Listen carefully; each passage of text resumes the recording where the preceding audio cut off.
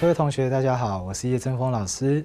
我们今天呢要讲的是指数函数的图形，还有它的上面的一些特征，请看。首先，我们说当底数 a 大于零不等于一，然后 x 属于实数的时候，我们定义一个函数 f of x 等于 a 的 x 次方，我们称之为是以 a 为底数的指数函数，把它画为图形，大概是如右图所示。这边我们发现有两条曲线，分别是红色跟绿色。我们这边可以利用上个单元类似描点的方式。右边的绿色的图形呢，是底数是二的情况；左边的图形呢，是底数是二分之一的情况，大概会是这样子的一个走势。那为什么会有两种走势呢？我们晚一点会做一个更详细的讨论。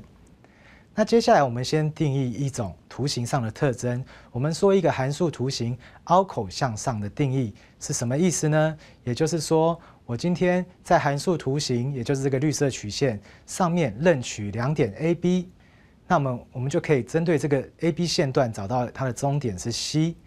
如果说将这个 C 点的 x 坐标固定的话，对应到曲线上的点，我们称之为是低点的话，也就是如如图所示，也就是 x 坐标固定是相同的情况之下，对应到曲线上的点，如果这个低点永远在 C 点的下方的话，我们就称这个图形是凹口向上的图形。那我们来看哈。首先，第一个，我们刚刚有看到两个图形的走势。第一个例子就是底数为二，y 等于二的 x 次方画出来会是右图的绿色曲线。那它会有什么样的特性呢？我们会发现哈，它的图形会凹口向上，并且是从左而右递增。也就是上一节我们介绍过的那个次序关系，当 x 坐标越大，y 坐标就会跟着越大，我们称之为是由左而右递增。那这边我们怎么样完成这个图形呢？其实右边的例子是以二为底，我们就是利用描点的方式，一个点一个点描出来，再试着把它连接起来，就会形成右边的图形了。那接下来第二个图形呢，是刚刚所介绍的底数是二分之一，也就是底数介于零跟一之间的时候，我们发现这个红色的曲线呢，依旧是凹口朝上，可是它的递递减呃递增递减关系呢，是从左而右。呈现递减的状态，也就符合了我们上一个单元所介绍的，当 S 坐标越大，y 坐标反而越小的这个现象。那我们同样是利用描点的方式把这个图给画出来。那这边同学可能会有一点点疑问：为什么一定是凹口向上呢？我们刚刚凹口向上的定义是说，在上面任取两个点，连线段的终点。对应相同 x 坐标在曲线上的点横在上方，那我们就要来检验这件事情，才可以说服各位同学，它的确是凹口向上。所以，我们来看举这个 y 等于二的 x 次方的例子，我们在上面取一个点 A 是一二，点 B 是三八，那我们要怎么样去算 A、B 的终点呢？就是两个点相加除以二的方式，所以算出来点 C 的坐标会是二五。那同样固定同样的 s 坐标二。带进去函数里面算呢，这个低点的 y 坐标就会是二的平方，所以我们知道低点的坐标会是二四，我们就发现啦，这个二四的确是在这个 C 点的二五下方，可是这样就够了吗？这个只是其中的一组 A、B 的点，我们发现了它们的线段连线终点的确是在曲线对应相同 S 坐标的点的上方，可是。我们这边必须要验证所有的可能性，才可以说服各位这件事情是对的。所以，我们接下来要来做一个比较严谨的一点的证明。首先，我们可以假设说，一样哈，y 是二的 x 次方这个函数，它上面的任意两个点，A 点假设是 x 坐标是 a，那 y 坐标就是二的 a 次方；B 点就是 b 二的 b 次方。那今天我们要去求它们两个点的终点呢，一样用加起来除以二的方式，就会得到 C 点坐标的 x 值是二分之 a 加 b，y 的坐标呢就是二分之二的 a 次方加上二的 b 次方。那接下来我们就会想要来算低点的坐标啦，就是对应相同 x 值的低点，也就是 x 值同样是二分之 a 加 b。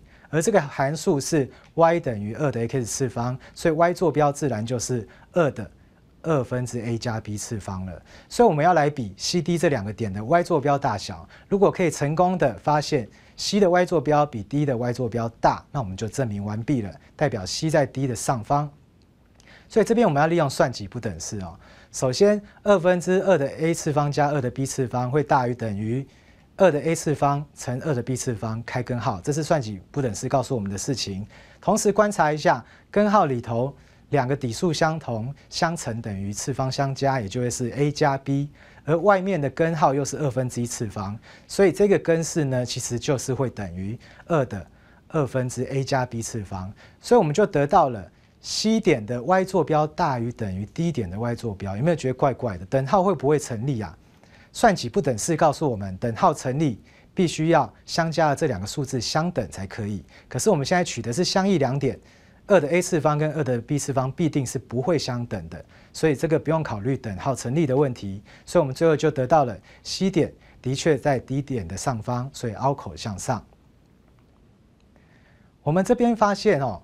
无论是底数是大于一，或者是底数是介于零跟一之间，我们任取一个线段，在上面任取两点所形成的连线段，都会在曲线的上方。其实这是一个比较简便的方式，我们就可以说明这个就是凹口向上了。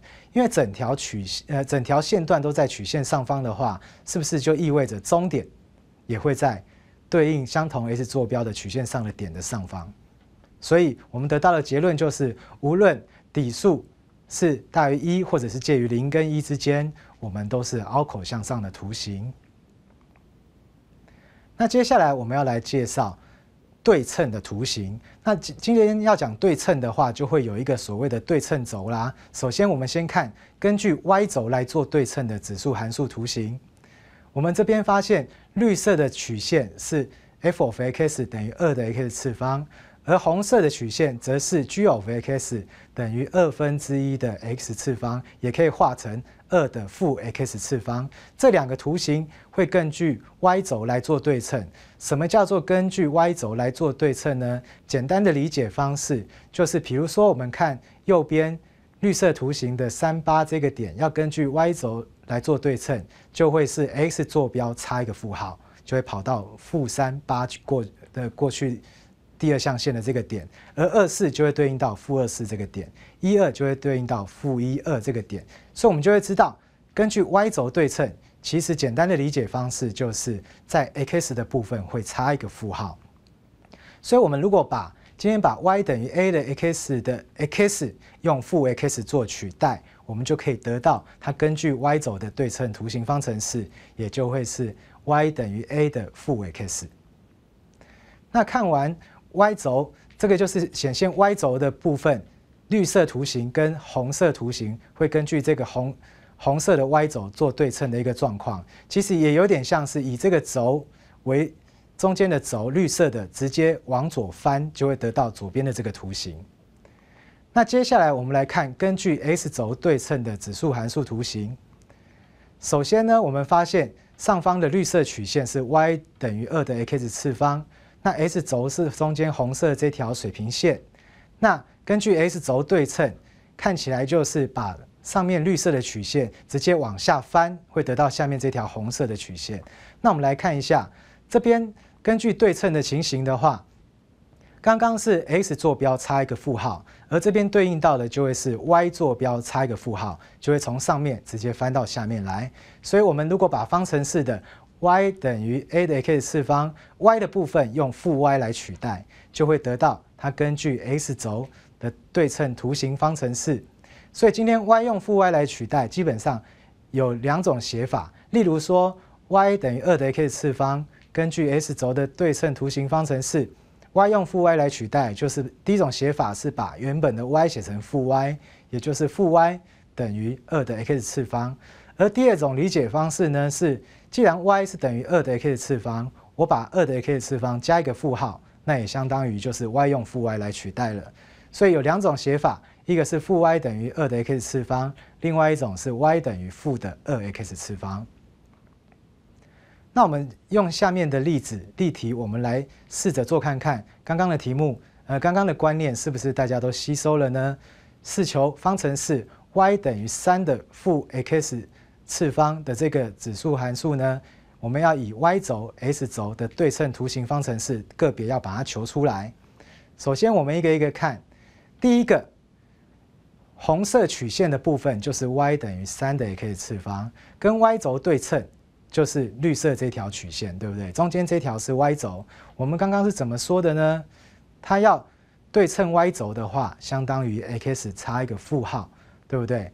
所以对称 y 轴的对称图形方程式就会把原本次方的负 x 把它换成 x 差一个负号的部分，也就是负 x 用 x 来取代，就会得到这个以 x 轴的对称图形方程式了。那接下来如果说是要对称 x 轴的话，看起来就是绿色的这条曲线直接把它往下翻的状况。那这个时候相当于是 y 坐标差一个负号。对不对？所以 x 轴的对称图形方程式就是把 y 原本的 y 坐标呢加一个负号，也就是从原本的三的负 x 次方写成负的三的负 x 次方，这就是它的对称图形方程式了。也就是如图所示，蓝色曲线的部分，我们这边直接用 y 用负 y 来取代。所以最后整理一下我们刚刚做的两个题目。以 y 轴的对称图形方程式，我们是将 x 差一个负号，也就是用负 x 用 x 来取代负 x。那接下来以 x 轴的对称图形方程式，则是 y 的部分要差一个负号，y 用负 y 来取代，分别会形成这三个图形。首先红色曲线，呃绿色曲线是原来的图形，然后对应到的以 y 轴对称的是红色的图形。那今天对称 S 轴的部分，则是下面的这条蓝色的图形。接下来我们要介绍的是呢，就是我如果固定同样的次方，在不同底数的时候的大小关系。首先，当底数，呃，两个底数 a、b 都是大于一的状况，我们说今天如果固定的次方是正数的话，则底数大的大，也就是 b 的 x 次方会大于 a 的 x 次方。第二个部分。如果固定的次方是负数的话，则是底数比较大的反而会比较小。我们可以从图形上来解释这件事情。假设两个底数分别是二跟三，我们可以画出这两个指数函数。绿色的图形是以三为底的，而红色的图形是以二为底的。我们看第一个例子呢，当你的次方控制是正数，假设都是一的话，就对应到图形上的这两个点。我们发现。绿色的点在红色的点上方，也就说明了今天三的一次方大于二的一次方。那另外一个例子呢？我们如果控制一样的次方是负一的话，就会对应到图形左边的这两个点。我们发现反而是红色的点在绿色的点上面哦，这样反映出来的结果就是三的负一次方会小于二的负一次方。那今天我们再看另外一个例子，如果说底数是两个都是介于零跟一之间，假设 t 比 r 大的情况，我们说，如果说固定的次方是正数的话，一样是底数比较大的来的大。今天如果固定的次方是负数的时候，我们会发现一样是底数比较大的来的比较小，跟刚刚的结论是完全相同的哦。我们来举一个例子，用图形上来解说。假设 t 是二分之一，r 是三分之一。会画出这两条图形。那首先先固定次方是正的，也就是固定 x 是一的时候，我们来看这两个点，也就是红色的点会在绿色的点的上方。红色是以二分之一为底，而绿色是以三分之一为底，的确就显现出了底数比较大的会来的比较大。那今天如果控制同样的次方是负数，假设是负一的话，我们就会发现绿色的点在红色的点上方，也就是说。次方比较大的底数，在固定次方是是是负数的时候，反而它的值会来的比较小。那再来，我们来看函数图形、指数函数图形的一个平移。第一个，我们先看左右平移。我们今天绿色的图形是 y 等于二的 x 次方。我如果把它往右平移两单位，就会来到红色这个曲线。我们就会发现呢，这个红色曲线的方程式应该要怎么写呢？我们观察一下，假设看二四跟四四这两个点好了。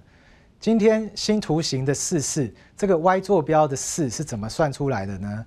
会继承前面原本绿色图形这个二的二次方，也就是新的 x 坐标减二的这个次方，所以我们就会知道说，红色图形是绿色图形向右平移两单位得到的，那它的 y 坐标会对应到原本旧的绿色图形的二的 x 次方，所以原本的 x 是新的 x。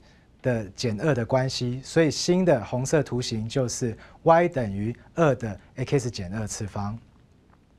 那今天如果考虑上下平移的状况，今天绿色图形往上两单位，这个就比较好想了，因为这个就是每一个 y 坐标都增加二的情形，所以就会从原本的 y 等于二 x 次方变成 y 等于二的 x 次方再加上二。那我们今天介绍的内容就上到这边，我们下一个单元再见，拜拜。